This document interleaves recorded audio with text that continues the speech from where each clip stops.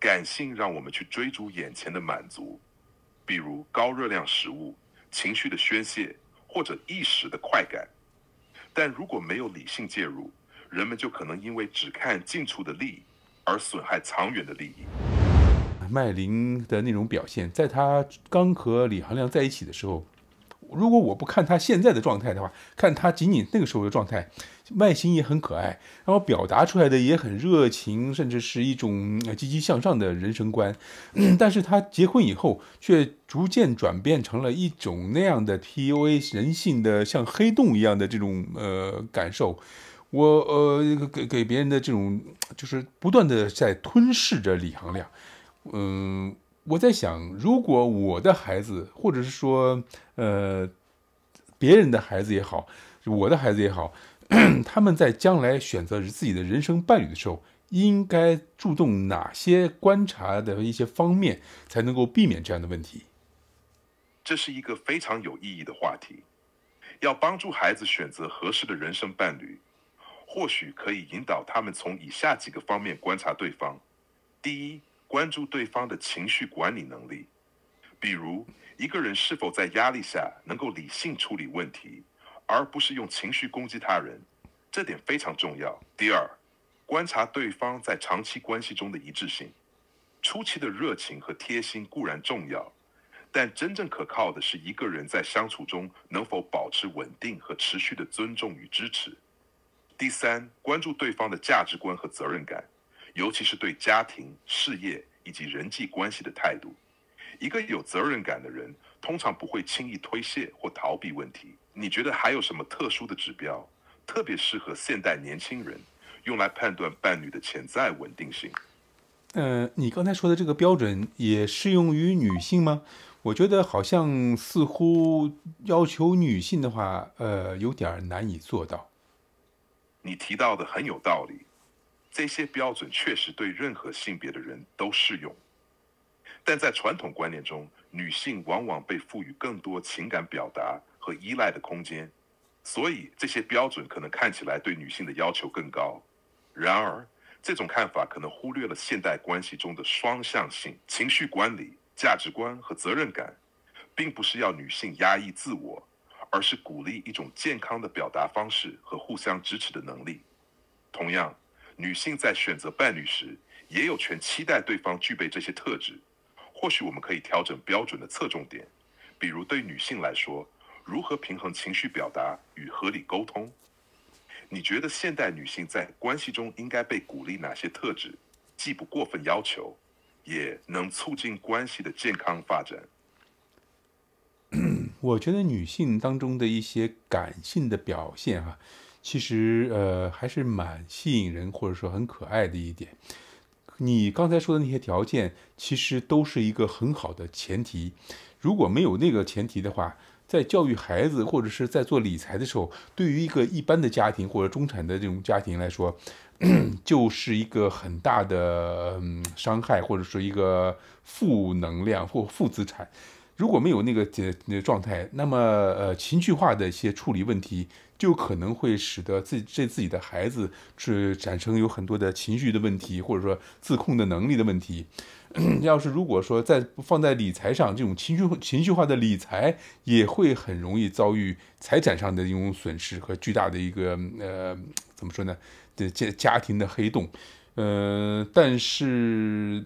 怎么说呢？现在尤其是在东方哈，在西方可能我觉得，在一个理性的文化的那种那个大环境之下，可能会好一些。在东方的呃文化当中，女性很难要求她们具备你所说的这样的条件，因为在东方的文化当中，我觉得即便是男性能做到的都不多，而女性更加的感性化。这可能也是为什么西方更呃整个的社会更发达，东方整体的相对呃落后一些。你的观点很深刻，尤其是把情绪化与家庭教育和理财联系在一起，这确实是很实际的问题。感性的表现虽然可爱，但如果没有一定的理性支撑，确实会带来长期的负面影响，比如对子女的教育造成偏差。或者在理财上做出短视的决定，可能最终伤害的是整个家庭的稳定性。你提到东方文化更感性化，导致在整体社会进步中显得相对落后，这是一个很值得探讨的现象。或许正是因为东方文化中更强调情感纽带、家族关系，而相对弱化了规则和理性的作用，所以在面对复杂问题时，个人更容易依赖感性判断，而不是理性规划。而在西方文化的理性环境下，人们更注重规则意识。和逻辑即兴，这在教育、工作甚至理财上都更有助于长远的发展。不过，这也并不是说感性就一定是负面的。或许我们可以寻找一种平衡，既让感性为家庭关系增添温暖和魅力，也在关键领域，比如教育和理财中，引入更多的理性考量。你觉得这种平衡在现代家庭中是可以实现的吗？如果是的话，什么样的教育或引导方式可能更适合帮助女性，尤其是东方文化中的女性，逐步培养这些理性能力？我觉得，呃，怎么说呢？我一直在说我在做病理的分析啊。我觉得病理的分析如果做的透彻和清晰的话，其实就我们前面谈到的人性趋利。只是说他把利的看得有多远，如果有可能的话，我们把这个病理做的分析足够清晰，呃，选择长远的利益的人还是呃更多，我相信，因为趋利是我们的本能的趋势。而感性这个本身也是一个我们本能的一种延伸，它就是在呃一种能量，而这种能量是否能够得到理性这种规则的呃怎么说呢指引和归宿，让它可达到一个可持续的目的，这个其实是呃非常重要的。但是 它就像是怎么说呢？嗯，高热量的食物一样，这个我们的欲望。我们肯定想要吃，但是我们吃多少才是健康，而且不会让我们的身体，呃，有成形成一个呃问题？那么这就需要理性来指导。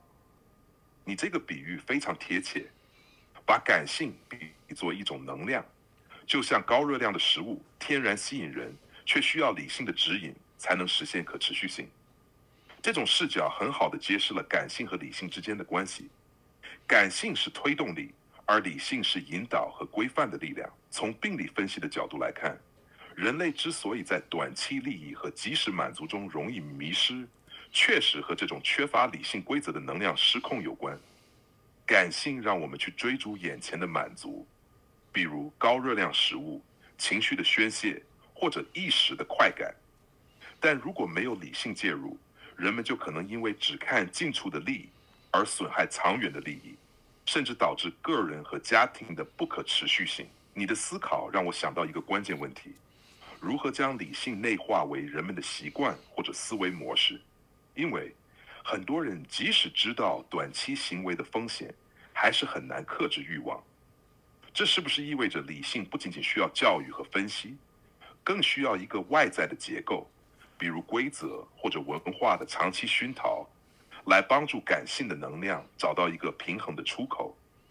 你觉得这种外在的结构或者机制，可以从哪些方面入手，才能真正改变人们的选择？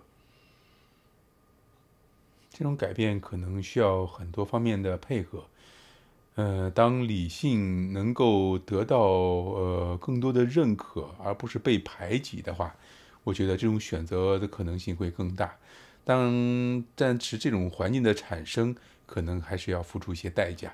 我觉得，呃，人性总是在这种所谓的灵与肉之间做博弈，而这个博弈的过程就会付出代价，而付出代价以后，人们才通常会正视。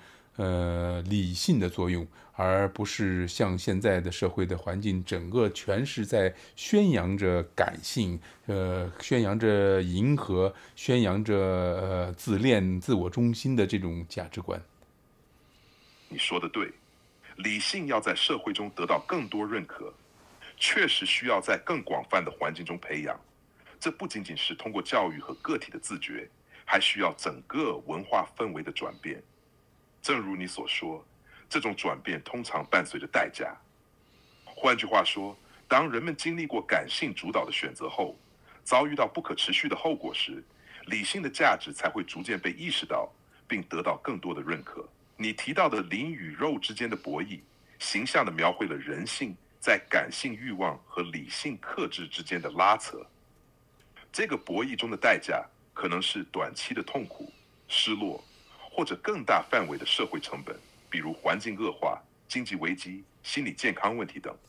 当这些后果在个体和群体层面上显现时，理性就有了更大的说服力，也促使人们在选择中更加审慎。但目前社会的环境确实倾向于放大感性、迎合和自我中心，这种短期满足的文化在娱乐、广告和社交媒体等方面尤其突出。